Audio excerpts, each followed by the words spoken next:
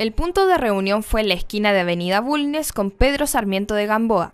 Pasadas las 11.30 horas, encabezada por una batucada, la multitud emprendió el rumbo, iniciando así una nueva marcha No Más AFP, convocada por la coordinadora del mismo nombre.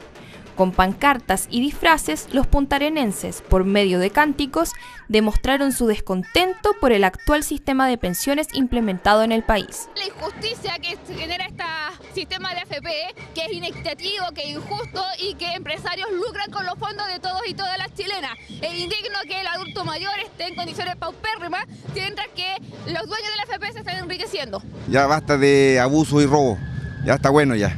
Eso es lo que nos está eh, aprovecho de llamar a toda la ciudadanía a que salgan a las calles, porque hay que hay que manifestar el malestar de toda la gente. Yo soy parte de la Comisión de Trabajo y Seguridad Social y ahí se está discutiendo, yo he planteado eh, permanentemente la demanda que es del movimiento No Más FP.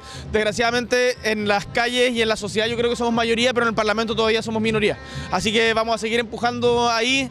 Eh, es difícil que este Parlamento con la gente que está adentro apruebe cambios de estas características. Los manifestantes se desplazaron por calle Bories, Ignacio Carrera Pinto, Chiloé y finalmente llegaron al escenario ubicado en la Plaza de los Derechos Humanos en Avenida Colón, donde finalizó la convocatoria.